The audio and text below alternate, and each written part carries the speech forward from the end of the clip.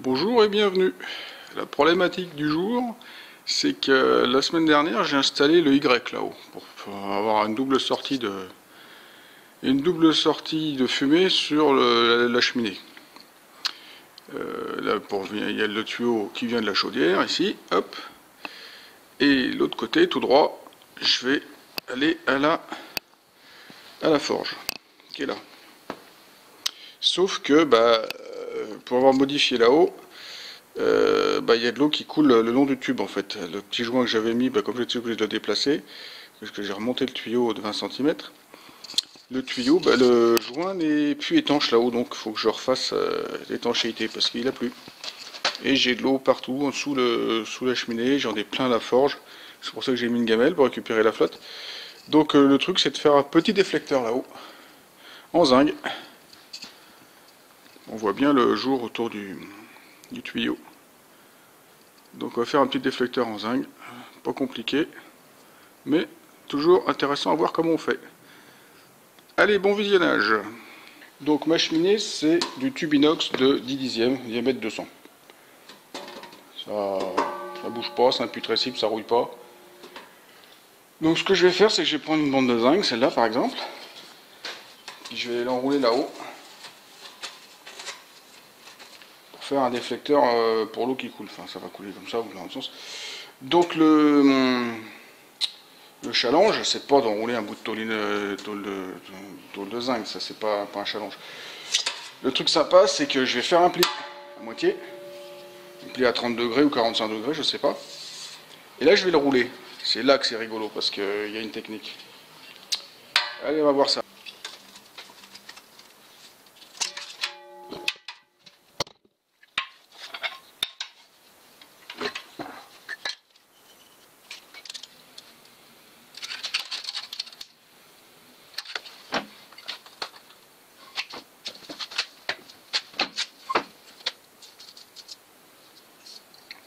Là on voit bien, on peut pas plier.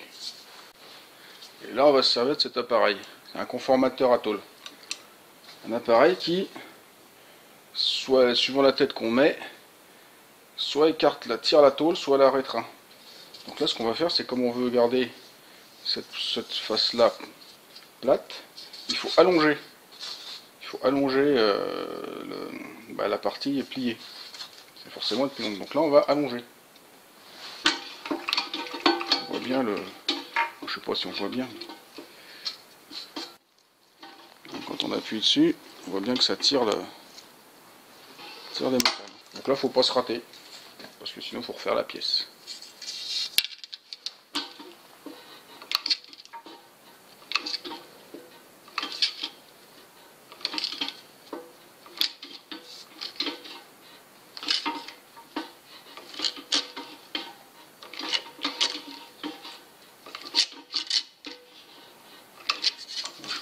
En contrôlant régulièrement.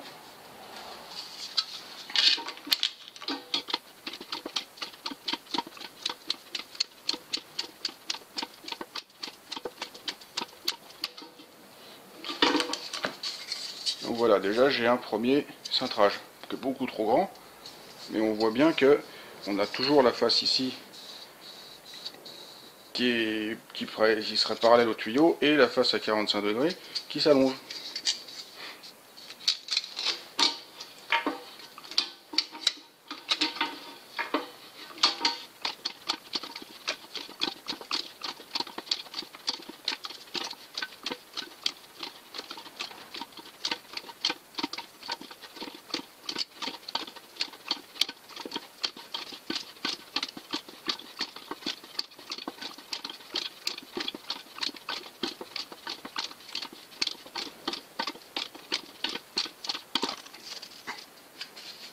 Ça commence déjà un peu à partir en banane.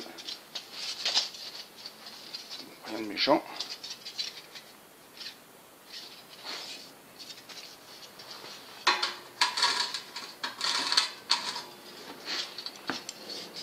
Et là par exemple, ça, là par exemple, ça, j'ai un peu trop tiré, ça a craqué. C'est du zinc en même temps, c'est pas de la tôle acide d'acier.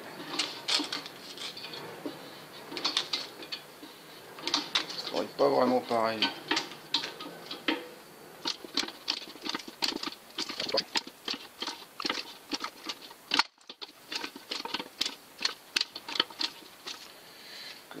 Commence à être trop petit.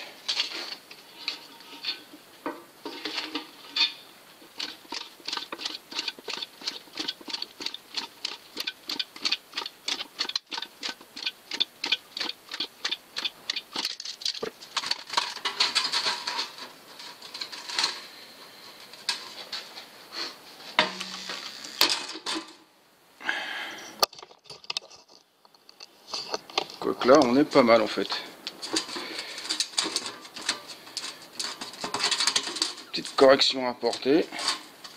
Pas grand chose. J'avais délibérément fait plus grand pour, pour avoir de la marge au bout.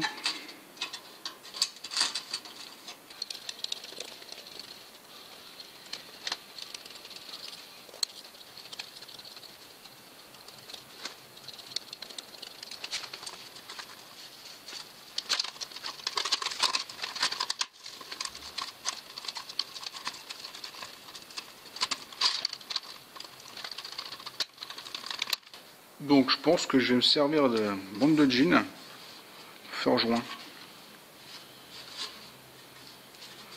Je vais la huiler. Une fois serré, ça devrait aller. C'est pas très chaud euh, là où je chauffe la cheminée. Donc ça prendra pas feu. À actuel c'est un bout de caoutchouc. Euh, espèce de truc mou euh, mastic américain. Donc ça, un peu pareil toit, l'objet de délit. Un joint en caoutchouc qui plus. Enfin, une espèce de mastic qui plus, qui. Il était là avant. Bien la trace est décollée. Comme j'ai remonté toute la cheminée de 20 cm, bah il colle plus, il est mort. Bon j'ai pas envie de remettre ça. Je vais mettre mon petit truc, ça va le faire bien. Donc voilà, j'en suis à l'installation du déflecteur. Donc euh, comme vous pouvez le voir, j'ai mis le petit joint en jean qui est graissé à l'huile, euh, qui est huilé plutôt à l'huile. Euh, je mets mon bout de zinc, je mets mon collier et euh, ça sera terminé. Donc si ça vous a plu, vous mettez un petit pouce. Si vous avez appris quelque chose, j'espère que c'est très bien. Vous pouvez laisser des commentaires et puis faire suivre sur les réseaux sociaux. Merci bien. Au revoir.